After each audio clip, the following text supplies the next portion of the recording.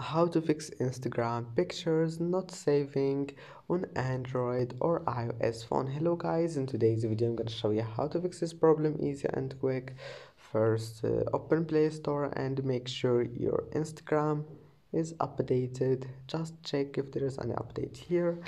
And if that doesn't fix your problem and you have an android phone go to settings and then go to apps and apps and here type instagram click on it.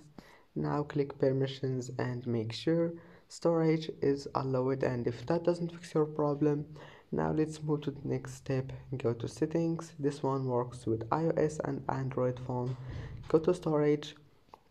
Now just clean some space or you can clean it from your gallery and that's it.